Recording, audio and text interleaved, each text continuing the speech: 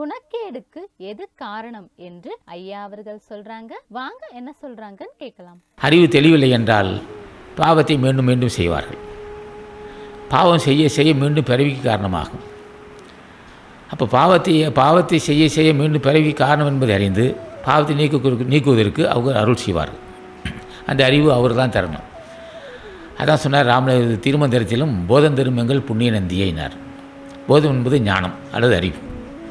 போதம் தருமங்கள் புண்ணிய நந்தியை போதந்தனில் வைத்து புண்ணியராயினார்னார்.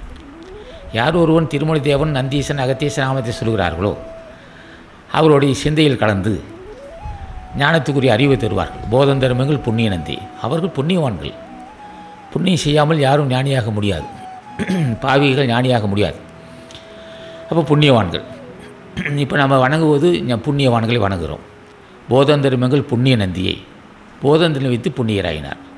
யார் யாரெல்லாம் ஞானிகளை வணங்குகிறார்களோ அவெல்லாம் புண்ணியவன் ஆவார்கள் எப்படி என்று கேட்டால் ஞானியை வணங்க வணங்க செல்வம் பெருகும். செல்வம் பெருகும்போது அவர்கள் அன்னதானம் செய்ய வேண்டிய எண்ணம் உண்டாகும். ஞானி வணங்காவிட்டால் செல்வம் பெறும்போது என்ன நினைப்பான்? லோபித்தனம் வந்துவிடும். அன்னதானம் செய்ய அன்னதானம் செய்ய மாட்டார்கள். செல்வம் வரும்போதே அன்னதானம் செய்து கொள்ள வேணுங்கிற உணர்வு அவங்க தான் தர வேண்டும்.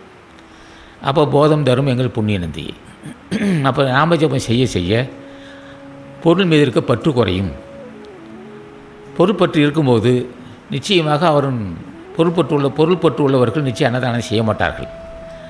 அன்னதானம் செய்யவிட்டால் அவருக்கு மீண்டும் பிறவி வந்துவிடும். அப்போ அந்த அன்னதானம் செய்வதற்குரிய அறிவு தருவதும் அவர்கள் தான்.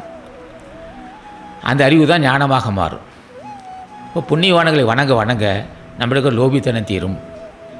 வறுமை தீரும் நோய் தீரும் பெருந்தன்மை உண்டாகும். க- சின்ன புத்தி இருக்காது. கச்சடத்தனமான கதை ஒரு கீழ்த்தரமான புத்தியெல்லாம் இருக்காது. பெருந்தன்மை உண்டாகும். பெருந்தன்மை உண்டாகும் செல்வம் பெருகும் நோயில்லா வாழ்வு உண்டாகும் நீடி ஆயுள் உண்டாகும் லோபித்தனம் தீரும் பொறாமை குணம் தீரும் பொல்லாத கோபம் தீரும் பேராசை நீங்கும் பெருமைக்குரிய அறிவு வரும்.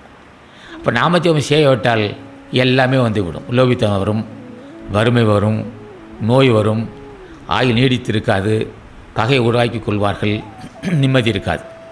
அப்போ புண்ணியவானாகிய ஞானிகளை வணங்க நந்தீசனையோ திருமலை தேவனையோ அகத்தீசனை பூஜை செய்த நாமஜபம் செய்தால் கொனைகடுகள் நீரும். கொனைகள் தீருவதே புண்ணியமாகும்.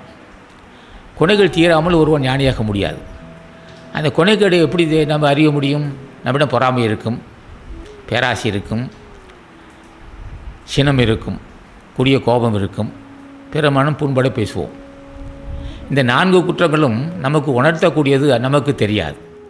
ஆசானது அருளுரைகளை தொடர்ந்து கேட்க அரங்கர் டிவிக்கு லைக் பண்ணுங்க சப்ஸ்கிரைப் பண்ணுங்க மறக்காம பெல் பட்டனையும் கிளிக் பண்ணுங்க.